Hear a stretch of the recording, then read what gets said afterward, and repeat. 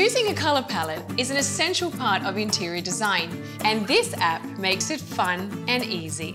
Select paint colours and see how they look on the walls. Save and send pictures. It's great for design work with my team. You can also share them with friends and family. Or pick a colour from anywhere and see how it looks. With this visualizer app, getting your dream colour just got easier. Home design ideas brought to you by Dulux.